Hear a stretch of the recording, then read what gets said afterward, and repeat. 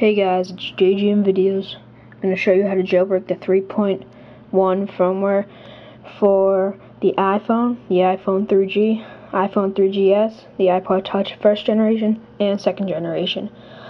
Your device has to be on 3.0 firmware for this to work. Alright, so just to show you, I'm on, and I have a second generation iPod Touch about.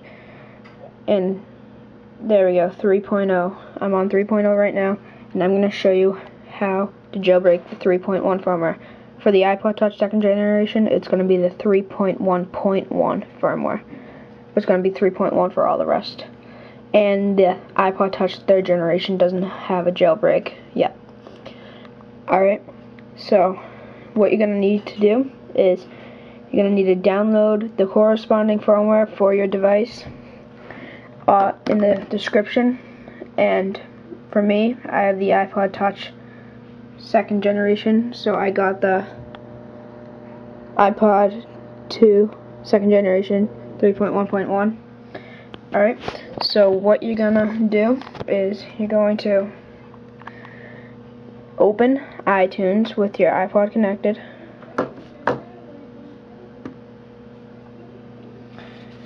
Alright, so once this is open, you're gonna make sure it's plugged in, and you're going to have to put your iPod in DFU mode.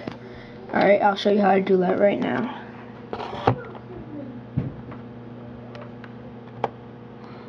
Alright, so what you're gonna do is you're gonna hold down the power button and the home button for 10 seconds till the screen turns black and you hear the chime on the computer.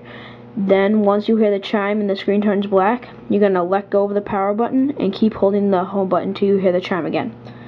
Alright, so let's start. Ready? I'm holding both down.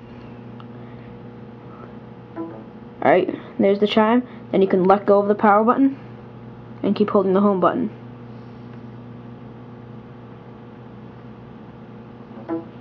Alright, the chime I don't know if you could hear that, but the chime just went off. So your iPod is uh, successfully in DFU mode. So now, as you can see, it says iTunes has detected an iPod and DFU mode. Alright, so just click OK to that. Then you're going to want to hold down Shift and click the restore button right there. You want to hold down the Shift key and you want to click the left click. Alright, so I'm going to do that right now zoom in on that for you. I'm gonna hold down shift, click restore. Alright, now you get this browsing menu.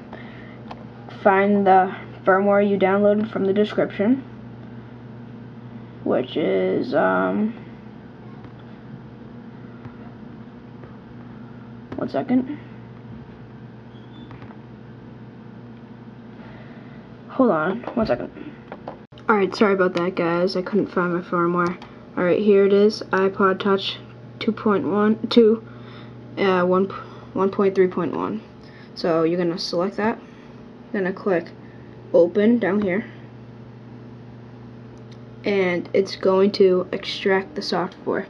It's to take a little while, and once that finishes, you will have your iPod jailbroken, or iPhone.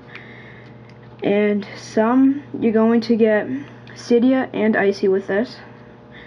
And if you get an error 1600 that means that you didn't put DFU mode that you didn't put your iPod in DFU mode successfully. Okay so once that finishes see it's going pretty quick. I'll be back to show you that it actually worked Hey guys, uh, as you can see here, I'm getting the apple, the pineapple, which means then I get this and it's to load.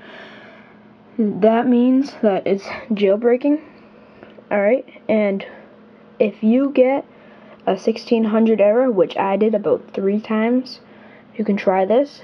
Try connecting your iPod in to your computer and open up iTunes.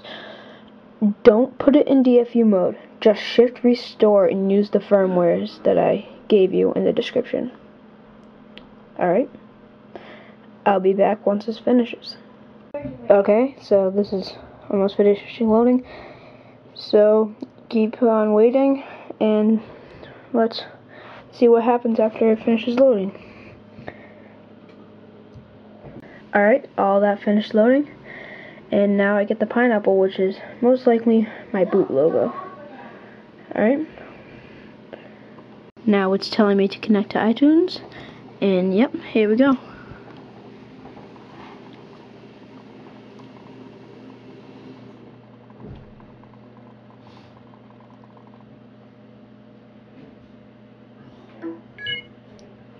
Connect to iTunes. There you go.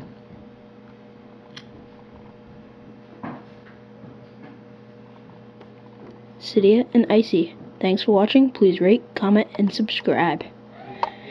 And just so you know,